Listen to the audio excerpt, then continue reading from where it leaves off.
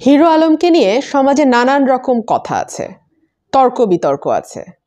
সমাজে এক শ্রেণির শিক্ষিত মধ্যবিত্ত সোকল কালচার্ড ক্লাস আছেন যারা হিরো আলমকে নিতে পারেন না। আপনারা একবার চিন্তা করে দেখুন তো, হিরো আলমকে গড গিফটেড যে জিনিসগুলোর কথা আমরা বলি, পরিবার বলেন, অর্থকরী বলেন গ্রুপ বলেন, মেধা বলেন, মেধা অবশ্য ওনার আছে, আমি সেই ব্যাপারে কথা বলব না। অন্যান্য যে গড গিফটের জিনিসগুলোর কথা আমরা বলি তার কোনোটা কিন্তু তাকে দেয়া হয়নি। তিনি অবিশ্রান্ত পরিশ্রম করেছেন। তিনি দিনের পর দিন মানুষের নানান ট্রোলের শিকার হয়েছেন, হাসাহাসির শিকার হয়েছেন, নানাভাবে তাকে দমিয়ে রাখবার চেষ্টা করা হয়েছে, তুচ্ছ তাচ্ছিল্য করা হয়েছে, সমাজে নানা স্তর থেকে চোখে আঙুল দিয়ে তাকে বুঝিয়ে দেবার চেষ্টা করা হয়েছে যে তার কাজের পরিধি আসলে কতটুকু, তিনি কতটুকু কাজ করতে পারেন, ইত্যাদি ইত্যাদি। তার মতন অবস্থায় আমরা কেউ পড়লে বহু আগেই দমে যেতাম। আপনি বুকে হাত দিয়ে বলেন তো, আজকে আপনি যারা আমার ভিডিওটা শুনছেন, আপনারা কয়জন পারতেন হিরো আলমের মতন এত নেগেটিভিটিকে ডিল করতে?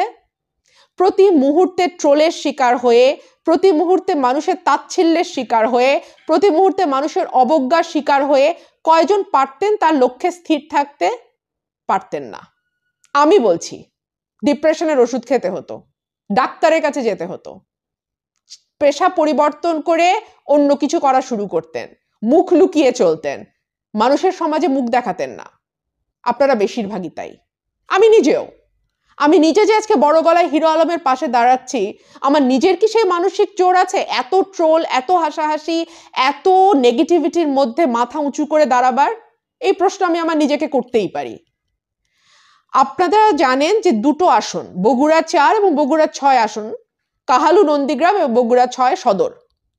হিরো আলম নির্বাচনে দাঁড়িয়েছিলেন। এবং তিনি দাঁড়ানোর পর থেকে আমরা দেখেছি তাকে নানানভাবে দমানোর চেষ্টা করা হয়েছে। দুই দুইবার তার মনোনয়নপত্র বাতিল করা হয়। পরবর্তীতে হাইকোর্টে রিট করে তিনি মনোনয়ন ফেরত পান এবং মানে তাকে একটা যুদ্ধের মধ্যে দিয়ে যেতে হয় মোটামুটি। এবং তিনি নির্বাচনে যে লড়াইটা দেন সেটাও একটা যুদ্ধ। আজকে প্রথম আলোতে তার একটা ইন্টারভিউ ছাপা হয়েছে, সেখানে তিনি বগুড়া চার এবং ছয় আসন সম্পর্কে তার অভিজ্ঞতার কথা বলছিলেন। তিনি বলছিলেন যে, শুরু থেকে দুই আসনে ভোটের মাঠ চাঙ্গা ছিল, কিন্তু বগুড়া ছয় আসনে ভোট শুরুর পর চিত্র পাল্টে যায়। অনেক কেন্দ্র দখল করা হয়, আমার নির্বাচনী এজেন্টদের বের করে দেয়া হয়, মারধর করা হয় রিটার্নিং কর্মকর্তাকে অভিযোগ করেও কোনো প্রতিকার পাওয়া যায়নি। সার্বিক পরিস্থিতিতে বগুড়া সদরে জয়ের আশা আমাকে বাদ দিতে হয়েছে। সেখানে পরিকল্পিতভাবে আমাকে হারিয়ে দেওয়ায় জামানত বাজেয়াপ্ত হয়েছে।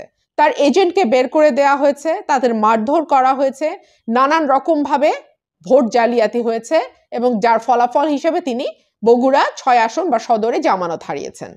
তবে বগুড়া চার, কাহালু, নন্দীগ্রাম আসনে ভোট সুষ্ঠুভাবে হয়েছে। দেখুন তিনি কিন্তু একবারও বলেননি যে কাহালু নন্দীগ্রামে কোনো রকম কোনো কারচুপি হয়েছে বা ভোট জালিয়াতি হয়েছে। তিনি পরিষ্কার বলেছেন কাহালু নন্দীগ্রামে ভোট সুষ্ঠু হয়েছে।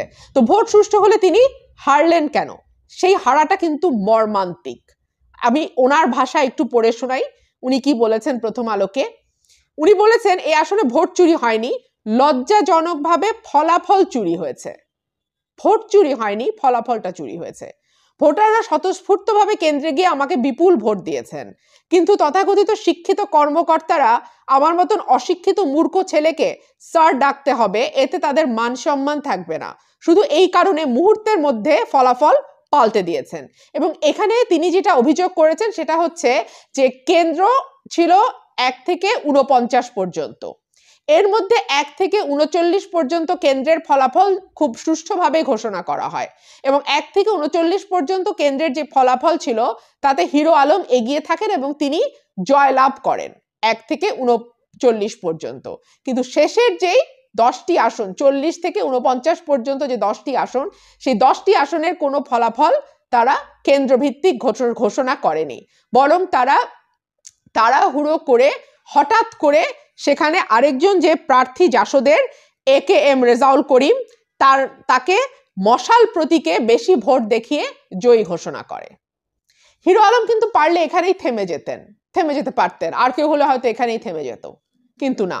তিনি দৃঢ়ভাবে বলেছেন তিনি হাইকোর্টে যাবেন, তিনি মামলা করবেন এবং তিনি দেখে নেবেন যে এই ফলাফলে আসলে কি ধরনের কারচুপি হয়েছে।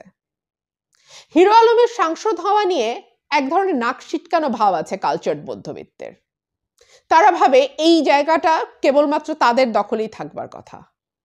জায়গাটা কি আসলেই তাদের দখলে আছে?